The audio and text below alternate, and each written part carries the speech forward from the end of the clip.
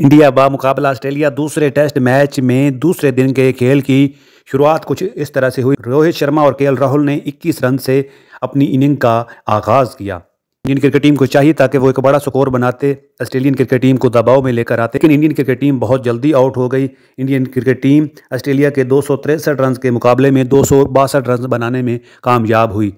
India की तरफ़ से टॉप स्कोरर अक्षर पटेल रहे, जिन्होंने चौहत्तर रन बनाए। विराट कोहली चवालीस रन बना सके, अश्विन ने सैंतीस रन बनाए। ऑस्ट्रेलिया की तरफ़ से बहुत अच्छी बॉलिंग करवाई गई। ऑस्ट्रेलिया की तरफ़ से नेथन लॉयन ने पाँच विकेटें ली। इस वक्त का जो खेल है, दोबारा ऑस्ट्रेलिया की टीम ने दूसरी इनिंग में इकसठ रन बनाए हैं और उसका एक खिलाड़ी आउट हुआ है। तो इस वक्त जो ऑस्ट्रेलिया की परफॉर्मेंस है, बहुत अच्छी परफॉर्मेंस है। पहली इनिंग में थोड़ा स्कोर बनाने के बाद ऑस्ट्रेलिया की टीम ने बहुत शानदार तरीके से कम बैक किया है। यहाँ पे दोनों टीमों के पास मौका है, लेकिन इस वक्त ऑस्ट्रेलिया को थोड़ा सा एज हासिल है। ऑस्ट्रेलिया इस टेस्ट मैच में थोड़ा शानदार तरीके से कम बैक कर चुका है। जैसे जैसे नेक्स्ट डेज़ क्रिकेट खेली जाएगी, पता चलेगा कि कौन सी टीम ये टेस्ट मैच जीतने वाली है।